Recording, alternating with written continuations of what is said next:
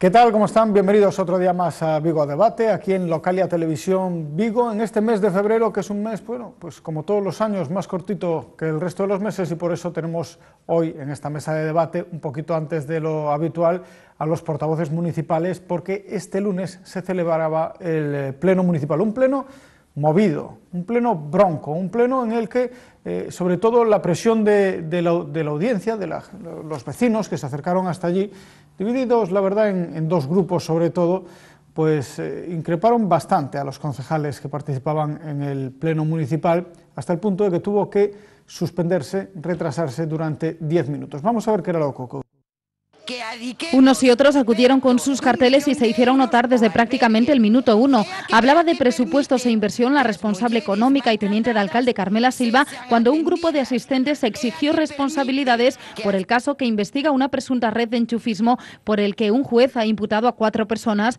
entre ellas la cuñada de la propia Carmela Silva. La teniente de alcalde advirtió con querellarse contra los que se dedican, dice, a difamar, al tiempo que acusó de corruptos a los que se dedican a protestar. Ahí sí que hay corrupción ahí entre el público, entre el público, entre el público.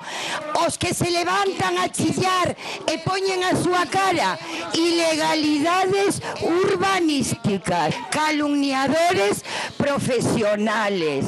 Dicen que teñen...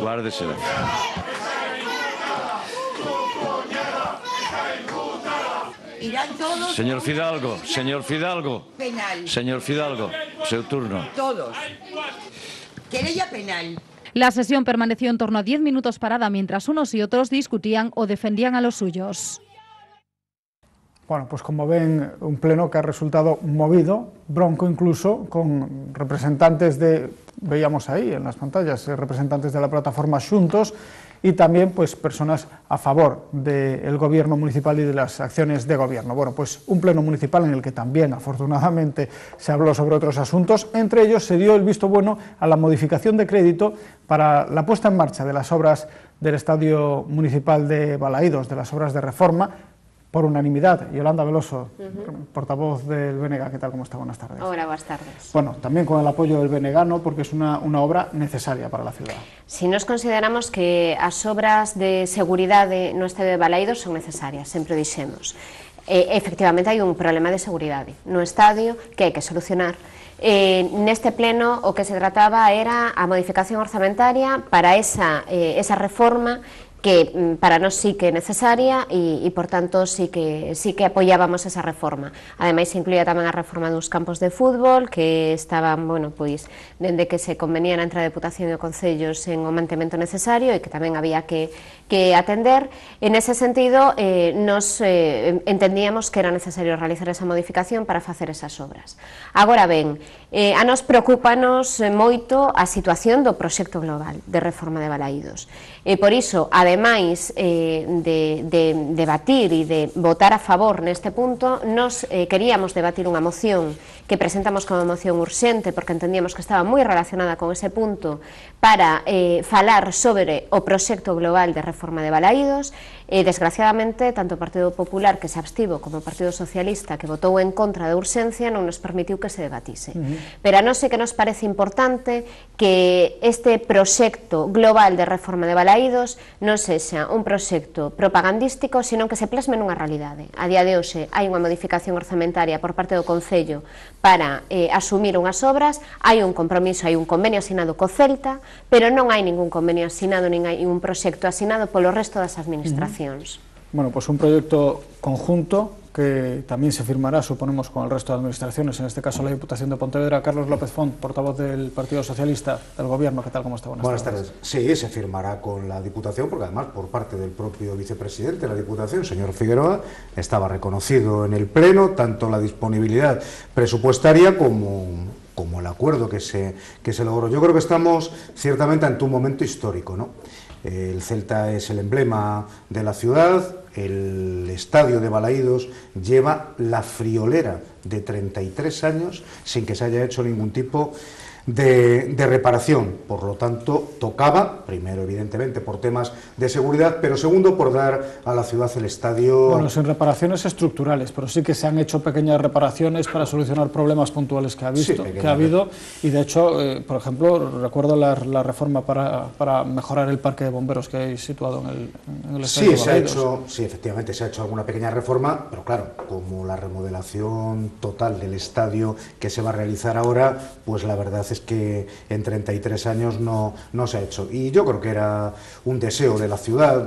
Yo cuando vamos a ver los partidos del Celta y hablas con los ciudadanos que van a los partidos, con los aficionados y demás, la verdad es que era una demanda de todo el mundo al alcalde hace unos meses, la temporada pasada y la anterior, cuando se reformaba el estadio de Balaídos y cuando se iba a una nueva situación. Y la verdad es que ahora las felicitaciones en ese sentido, también cuando se repiten esas conversaciones que vamos a los partidos, pues es ciertamente significativa. Es un proyecto de 30 millones, es un proyecto acordado con las administraciones, la Diputación lo ha reconocido, la Junta lamentablemente no entró en financiar lo que era parte de la reforma del estadio y se limitó simplemente al tema de las pistas de atletismo que ya tenía prometido con bastante antelación y precisamente miércoles, hoy por la tarde, se celebra el pleno de Zona Franca donde también se va a proponer por parte del alcalde, por parte del gobierno, el que Zona Franca también se involucre en este, en este proyecto.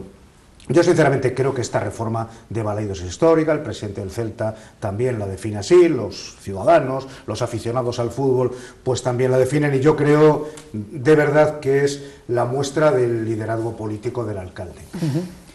El liderazgo político del alcalde, concluyo, desde que no se toca el estadio de Balaidos, ha habido anteriormente tres alcaldes del Partido socialista, dos alcaldes del Partido Popular y un alcalde del Bloque Nacionalista Galego, e intuyo más o menos lo que se va a decir, pero todos lo intentaron y nadie consiguió aunar esas voluntades necesarias para hacer una reforma de este calado.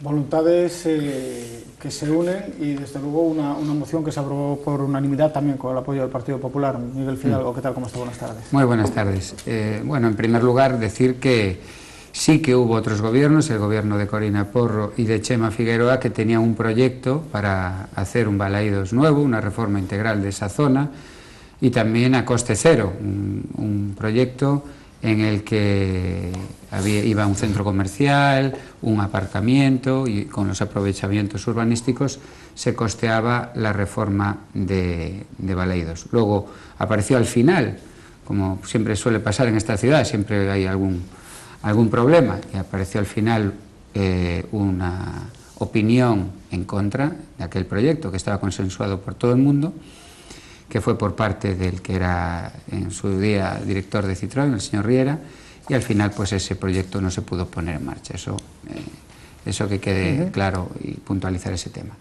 Ahora estamos en la posibilidad de, de reformar Balaídos. Evidentemente, Balaídos es necesario.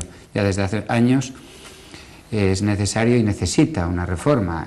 ha habido caídas de cascotes, ha habido, hay problemas estructurales, es un estadio que no tiene eh, pues las eh, comodidades, eh, incluso para personas con movilidad reducida. Bueno, es un estadio que se ha quedado un poco obsoleto. Es un estadio municipal, es un estadio que es una infraestructura que, que pertenece a todos los vigueses y las, y las viguesas. Y lo que se ha demostrado después de ocho años de gobierno del Partido Socialista, cuatro en coalición con el Bloque Nacionalista Galego, es que ahora no hay absolutamente nada. No hay proyecto, no hay proyecto porque no lo conocemos, no hay convenio, hay un borrador de un convenio y tampoco, lo más importante, que tampoco hay dinero. Entonces, Claro, esto es importante que quede claro, porque a veces se dan, se dan mensajes como que ya se ha iniciado la reforma de Balaidos. No, no, no. Mire ustedes, nosotros, con los votos del Partido Popular, porque el, Partido Socialista está en minoría, el Partido Popular permitió un proyecto de reforma, de, de mejora de la seguridad de la grada de Río, de mejora de seguridad de la grada de Río. Eso fue con cargo a un superávit, el del año 2012, y fue una modificación de crédito que aprobó el Partido Popular. Y eso es lo que está empezando a ejecutarse. No hay eh, todavía el proyecto, no hay el convenio. Desde Diputación se ha pedido, eh, y Zona Franca se ha pedido colaboración y ya hay una reserva de crédito. Y lo que ayer hemos hecho, el otro día hemos hecho en el Ayuntamiento es iniciar iniciar el procedimiento, el expediente, para una modificación de crédito para que en el, en el, Ayuntamiento de Vigo hubiese dinero disponible en caso de acometer esa reforma. Eso es uh -huh. lo que hay a día de hoy. Bueno, Yolanda. Sí, realmente é sorprendente que, que se fale de liderazgo do alcalde cando realmente nestes días o que vemos e nestes últimos meses o que vemos é un liderazgo por conseguir as fotos e os titulares pero discusións permanentes co resto das administracións igual que coa maioría dos asuntos que este Concello debería eh, resolver na cidade coa colaboración das outras administracións e, e conseguindo que outras administracións asuman as súas competencias, que en moitas ocasións non asumen, como é o caso da Xunta de Galiza. E neste caso hai un convenio co Celta de Vigo e nese sentido sí que é histórico e hai que recoñecer que é un momento histórico porque eu creo que por primeira vez hai unha chega económica relevante por parte do Celta de Vigo que non hai que esquecer que é unha sociedade anónima deportiva e que é beneficiaria a principal seguramente, a parte evidentemente a cidade, de, das reformas que se fagan en Balaídos e nos entendemos que tamén é, é importante que haxa un convenio no que o Celta fai unha chega importante de cartos E mm, esta modificación orzamentaria limítase realmente a esas obras de seguridade que están conveniadas co Celta de Vigo, nas que o Celta de Vigo achega unha cantidade e o Concello achega outra, Pero un pouco superior. eh, eh, o montante que ten que aportar o Concello de Vigo o BNG o apoiará. Ah, claro, é que aí está o problema, aí está o problema. eh, que proxecto quere levar adiante realmente este Concello, porque non o coñecemos, nos apostamos sempre por un proxecto que garanta a e que teñan en conta as, as cuestións realmente importantes de, da reforma de Balaídos, que garanta a seguridade do estadio, que atenda a reforma da contorna e resolva os problemas que ten a contorna por ter un estadio de fútbol ali, estamos falando de mobilidade, estamos falando de aparcamento, e que contemple tamén a reforma das pistas de atletismo de Balaídos, que son as grandes esquecidas en todo, en todo este tema de sempre. Bueno, tamén o BNG, cando estaba no goberno, cando estaba Santiago Domínguez na tenencia de alcaldía, tamén levada, levada vez, levada vez, levada Levábamos. Levábamos. Eh, deportes, a Consellería de Deportes tamén plantexastes un proxecto para Baleidos. Efectivamente, é dicir que nos entendemos que hai que facer unha reforma, pero atendendo a situación actual, atendendo as necesidades da seguridade do estadio, as necesidades da contorna e as necesidades das pistas de atletismo. O atletismo, e así tamén o, o, o sinalaba na súa intervención Xavier Alonso, cando interviu onte no pleno, o atletismo ten unha importancia para poñer a Vigo tamén, non só no, no, en España, sino tamén no mundo, e non se está atendendo, seguimos sen ter un recinto cuberto que permita adestrar e que permita competir os atletas da nosa cidade que teñen pois precisamente recoñecemento internacional e non o teñen e iso non se está atendendo. E por que fundamentalmente? Porque agora mesmo o que temos sobre o proxecto de Balaído son unhas fotos, unha infografía, non coñecemos o proxecto e non temos aínda o compromiso real nin da Deputación nin da Xunta de Galiza, porque evidentemente o que non ten sentido é que o Concello se eh, eh pense sen asumir un, unha reforma como a que, a que se necesita nese, no entorno de Balaídos. Iso sí que non ten ningún sentido. Por iso nos choca que se fale de liderazgo, porque a nos, o que nos soa moito máis o discurso do alcalde, así o dixemos tamén, é a vitimismo. Uh -huh. Máis que a liderazgo, a vitimismo. Carlos. Pues insisto en el tema del liderazgo. E insisto en el tema del liderazgo porque era una ambición de esta ciudad dotarnos de un estadio a la altura de los tiempos en, que, en los que estamos y efectivamente el alcalde sacó la propuesta eh, de la reforma del estadio de Balaidos y la Diputación gobernada por el Partido Popular salió corriendo, literalmente queriendo estar en ese proyecto. El proyecto existe, el acuerdo de proyecto es entre, lo decía muy bien el señor Fidalgo, dado que es un campo municipal, entre el Ayuntamiento de Vigo y el Celta de Vigo. Y el Celta de Vigo, no hay que omitirlo y no hay que olvidarlo, el otro día iniciaba con la contratación de la grada de preferencia parte de la obra. La obra va a ir escalonada, el proyecto está, y el proyecto lo conoce el señor Rouzán cuando se entrevistó con el alcalde, lo conoce el señor Lette y lo conoce, no. por supuesto, los dos personajes es que, no que son ciertamente centrales en esta en definición del proyecto, que son el alcalde de Vigo y el presidente del Celta. ¿El ayuntamiento tiene el proyecto? Sí, claro que sí. ¿Y, ¿Y por, qué no, ¿por qué no se ha hecho público todavía? Bueno, es un tema del alcalde, que cuando se entreviste con las distintas administraciones. Me imagino que esto, bueno, me imagino, no, esto va pautado y se procederá y se procederá a, una, a un acuerdo con la Diputación, como también se produjo un acuerdo verbal con la Junta de Galicia del señor Lete, del secretario para el deporte, de que aportaban para las pistas de atletismo. Por lo tanto, esto está totalmente configurado y no hay que dudar lo más mínimo. Y lo que es importante es la remodelación que se va a llevar a cabo en el estadio. Y hombre, debe de ser tan así cuando el señor Fidalgo, su compañero de partido y vicepresidente de la Diputación, dice que la Diputación tiene dotado 4,7 millones para esta reforma. Por lo tanto, todo a su tiempo, todo en su momento en cuanto a los distintos convenios y los distintos acuerdos que se tienen que firmar con las administraciones, porque ustedes saben perfectamente que el alcalde se ha reunido con el señor Rouzán, presidente de la Diputación, con el señor Lete y se ha reunido con la delegada de Zona Franca y toda esta viabilidad, no nos engañemos y no pongamos en cuestión la palabra del alcalde de Vigo y del presidente del Celta de Vigo, que representan mucho en esta ciudad y que son los que han acordado esa remodelación que es verdad que vemos en infografías, pero ese es el proyecto. ¿Conoce Rafael Luzán el, proyecto de Baleidos? No, pues no lo conoce porque no hay proyecto. O sea, aquí lo que hay es eh, un dicho, ¿no? Que, pero entonces también, es, extraño que destine una partida a un proyecto que tampoco conoce. No, ha reservado crédito para... Evidentemente hay una necesidad, hay una necesidad que es reformar Balaidos. y para eso, esa, para esa necesidad, eh, la Diputación, la Junta de Galicia y ahora están en negociaciones con Zona Franca, las instituciones de la ciudad van a estar ahí.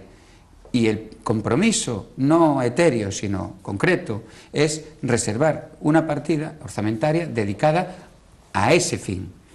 Otra cosa es que a día de hoy se conozca el proyecto. Ustedes han puesto el carro antes que los bueyes. Oh, Han hecho las fotos con las reuniones, con uno, con otro, que es lo que se le da bien. Han hecho una maqueta, que es lo que se le da bien. ¿Por qué? Porque estamos a tres meses de unas elecciones municipales. Pero lo que no hay es la concreción, no hay el proyecto. No sé. ¿A quién le han encargado ustedes el proyecto? ¿Cómo ha sido el proceso de la licitación? A mí me preguntan muchos arquitectos, oiga, pero ¿quién va a hacer el proyecto? Porque si eso es una instalación municipal, será el ayuntamiento ¿No ha visto quien saque medios de comunicación a los arquitectos? Sí, yo, he visto un arquitecto que ha hecho en, principio un dibujo, he visto un vídeo, he visto una maqueta, he visto cosas que eh, eh, evidentemente no, no, he visto pasar por junta de gobierno. Por eso digo que vamos a, vamos a intentar no confundir a la gente, porque ustedes ya están confundiendo como que empieza la reforma de Balaídos, cambiándole las uralitas a la grada de Río, porque es lo que se está haciendo, un proyecto de seguridad, y eso es manipular a tres meses de unas elecciones. Otra cosa es la realidad, que las instituciones que gobierna el Partido Popular, antes incluso que las tenga el Ayuntamiento de Vigo, que no tiene todavía el dinero a disposición, todavía no lo tiene, porque ayer lo que aprobamos fue una aprobación inicial de una modificación, porque ustedes gobiernan en minoría, porque no han ganado las elecciones, las, las eh, instituciones gobernadas por el Partido Popular han hecho esa reserva de crédito. Y ahí está, ahí está ese dinero guardado, esperando. ¿Esperando a qué? esperando a que haya menos maquetas y más concreciones. Un proyecto un proyecto claro y un convenio claro, donde diga a qué se compromete cada parte, cuándo lo paga, cómo lo paga, etcétera, etcétera. Eso lo sabe y eso no lo hay. hay un vídeo maravilloso. Lo sabe perfectamente el señor Luzán. No, no lo sabe, no lo sabe, créame. Pregúntele a ellos. Créame que no lo sabe. Hay un borrador de convenio. Hay un borrador de convenio. Ustedes no han firmado el convenio. Han firmado con Diputación algo. Lo decía... Han firmado con Diputación. No, pero me remito a las declaraciones. No han firmado nada. Me remito a las declaraciones. Es que no han firmado nada. Vale más un compromiso de una reunión, vale más un compromiso de una reunión. Eso sí. Y nuestro compromiso es que desde noviembre en Diputación hay 4.700.000 euros reservados para eso. ¿Sabe lo que ocurre? Eso es el compromiso. lo que ocurre? Lo que decía el compromiso. Antes, que cuando hay un gran proyecto para esta ciudad y cuando hay algo importante, siempre los hay a la contra. No, y ustedes, y ustedes por, motivos, por motivos electorales, es una pena que no se suban al carro definitivo no, no, y que encima lo cuestionen. Yo quiero dejar bien claro... o que unha pena que onte, Vamos a seguir hablando Venega... Vamos a hacer ahora una, una ronda vale. rápida de un minuto cada é que unha, O que unha pena é que cando onte o BNG presentou unha moción na que precisamente o que pedíamos era que se asinasen os acordos entre as distintas administracións para levar adiante un proxecto que contemplase a reforma da contorna, que contemplase a reforma das pistas e a construción dun recinto cuberto, o PP e o PSOE non quixeran falar diso no pleno non quixeran aprobar que as administracións asinasen e se comprometesen a realizar estas reformas. Iso é realmente sorprendente. E iso encaixa realmente con este discurso vitimista de enfrontamento entre as administracións. Porque eu non entendo que clase de líder utiliza frases do tipo é que nos discriminan, é que non nos queren, é que non invisten na cidade e eu vou ir en contra deles. E o mesmo está pasando co señor Louzán e está pasando coa Xunta de Galiza que polo que se viu onte, polo que votou o PP, tampouco quería falar das súas competencias e tampouco quería asumir onte no, no pleno no, do Concello o compromiso da Xunta de Galiza co, coa reforma de Balaídos. Porque non entendemos por que onte se rexeitou debatir unha moción na que precisamente o que queríamos era que, que isto se quedase en algo máis que fotos, en algo máis que titulares, en algo máis que xuntanzas e se plasmese realmente nunha asignatura dun proxecto concreto concreto, pero non, evidentemente, a tres meses das eleccións non se queren proxectos concretos, coñecidos e asinados para que se fagan realmente na cidade. Carlos, ha pasado por Junta de Gobierno ese, ese proyecto, como se ha licitado, como se ha contratado? Las licitaciones se van haciendo puntualmente. La primera parte de la licitación concerniente a la grada de Río pasó por Junta de Gobierno y se aprobó. Estos 3,4 millones, 3,4 millones aprobados ayer, aprobados ayer en cuanto a modificación orçamentaria, cuando se licite se sacará concurso. Pero es que el otro día, el viernes, el propio Real Club Celta de Vigo iniciaba las obras de preferencia, que no son unas obras de seguridad, sino que es el adelantamiento de la grada de preferencia dentro de lo que es el proyecto. El proyecto está consensuado y acordado entre el alcalde de Vigo y el presidente del Real Club Celta. Una, pregunta un poco, un poco, formal sobre el proceso que, no lo conozco yo muy bien, pero eh, ese, ese proyecto que va a ejecutar el Celta, el de la parte del Celta, al ser una instalación municipal tendrá que pasar también por Junta de Gobierno. ¿Ha pasado ya? No, forma parte del ámbito de colaboración del Celta. Y precisamente en el acuerdo entre Gobierno municipal y Celta está el que cada, uno, cada administración se va a encargar de unas aportaciones económicas y se va a encargar de una serie de actuaciones.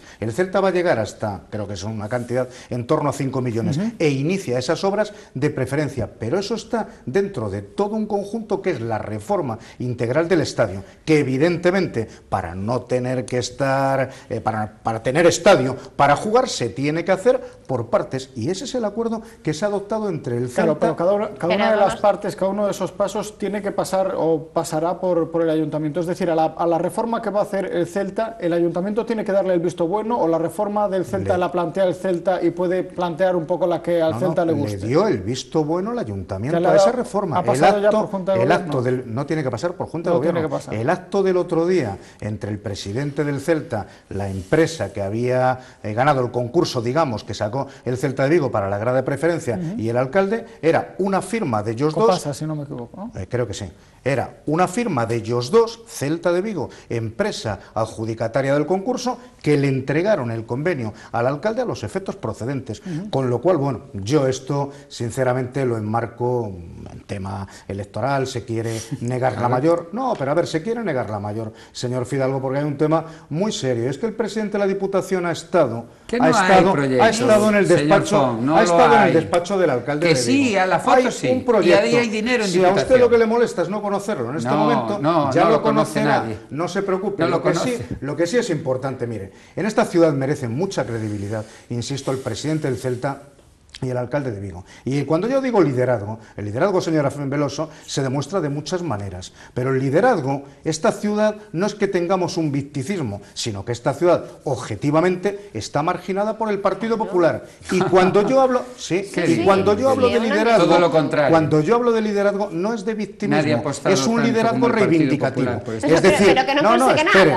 sí, sí, o problema que no estamos consiguiendo todas Estas, todas estas mociones que se presentan son el claro ejemplo de la marginación que tiene el Partido Popular aquí. Hombre, decir que no hay nada cuando se están iniciando obras en el estadio de Balaídos cuando, cuando, las dos partes que son cuando las dos partes que institucionalmente son las que tienen que acordar porque usted hablaba efectivamente de que es un estadio municipal en base a una autorización y en base a una concesión que se ha dado por el ayuntamiento. Son los que tienen que acordar el proyecto, son los que lo han acordado y es el proyecto y es el proyecto que se está desarrollando. No, no, no, estoy equivocado en absoluto. Mire, eh, yo sé que no tiene mala fe en lo que dice, pero la instalación es municipal y quien tiene que supervisar y sacar a concurso las obras de, la casa que es de uno es uno, no es el inquilino, ¿no? es, es el dueño de la instalación. Dicho esto, a ver, eh, para nosotros, para el Partido Popular, eh, ha demostrado el Partido Popular de Vigo que lo que no quiere es que esta ciudad se paralice, lo que quiere es que esta ciudad avance y que los grandes proyectos, ya que hay, bueno, ahora, después de ocho años y justo antes de unas elecciones, parece que hay interés, bueno, por lo menos en la foto y en la maqueta y en el vídeo, de hacer algo en Balaídos, nosotros vamos a estar ahí. Para nosotros el Celta es un icono de la ciudad, somos celtistas, somos de Vigo, y creemos que Vigo necesita un estadio de primera para un equipo de primera y no podemos estar yendo cada 15 días a un estadio que se está casi cayendo, ¿no? que con, con, problemas de seguridad. Por eso el compromiso del Partido Popular con el Estadio Balaidos es total. Creemos que cada euro que se invierte en el Celta de Vigo es eh, muchos euros de retorno a la ciudad. El fútbol mueve pues, mucho dinero. decía el otro día eh, mi compañero Chema Figueroa que había una anécdota ¿no? que siempre contaba Camilo José Cela, que las ciudades, eh, eh, el orden de importancia de la ciudad venía por la clasificación de los lunes en el periódico. ¿no? Y digo, pues ahora el Celta está de octava, es la ciudad octava de, de España, o incluso menos, porque hay, hay otros equipos ahí. Madrid pues tiene el primero y el cuarto. ¿no? Pues entonces seríamos los séptimos. Y el tercero. Y el tercero.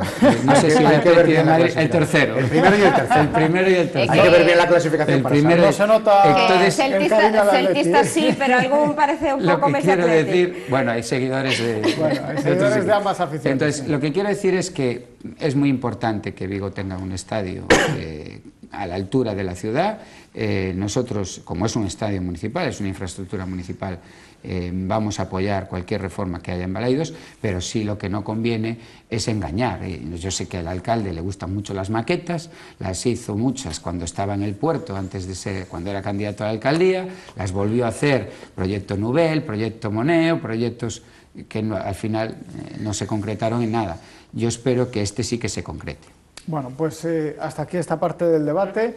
Yo creo que, que, además poco más ya se puede, se puede aportar, más que seguramente volver eh, otra vez sobre el mismo asunto. Tenemos muchos temas sobre la mesa porque, bueno, pues en ese, en ese pleno también se hablaba sobre las obras pendientes de la Junta de Galicia en túneles y viales de, de la ciudad. Además, una comparecencia de la portavoz de los afectados por la hepatitis C eh, y muchos más asuntos que se hablaron. No sabemos si nos dará tiempo a hablar de todos ellos, intentaremos que sí, pero a la vuelta de publicidad empezaremos a retomar estos temas. Thank you.